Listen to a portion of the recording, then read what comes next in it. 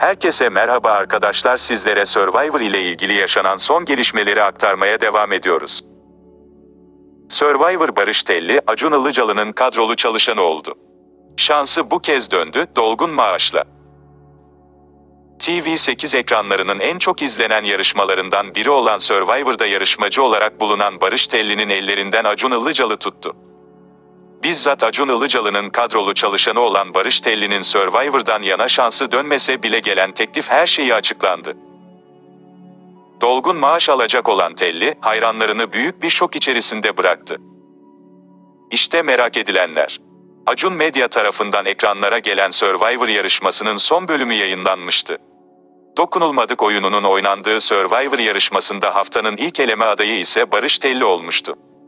Ünlüler takımının oyun kaybetmesiyle birlikte Barış Telli potaya giren ilk isim olmuştu.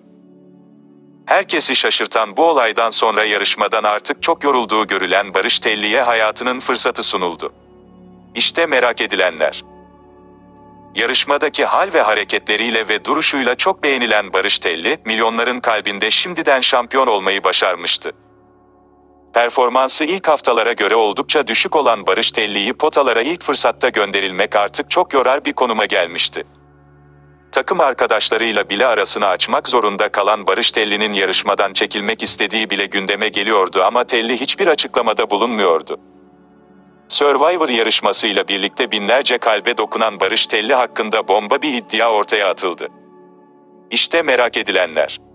Survivor yarışmasının yıldızı olan Barış Telli'ye Acun Ilıcalı'nın iş teklif ettiği gündeme bomba gibi düştü.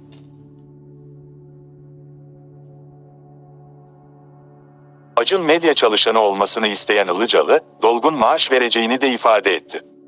Herkesi şok eden bu teklifin detayları ise yavaş yavaş ortaya çıkmaya başladı. Kulislerde konuşulanlara göre Acun Ilıcalı, yarışmadan ister çekilsin ister elensin, Barış Telli'yi kesinlikle çalışma kadrosunda görmek istiyor ve aylık olarak vereceği maaş 54 bin TL. Acun Ilıcalı'nın bu teklifine sıcak bakan ama biraz olsun dinlenmek isteyen Barış Telli, hayranlarını şok içerisinde bıraktı. Konu hakkında ise Acun Ilıcalı'dan bir açıklama gelmedi. Sizler bu teklif için neler düşünüyorsunuz? Yorumlarınızı bizlerle paylaşmayı unutmayınız.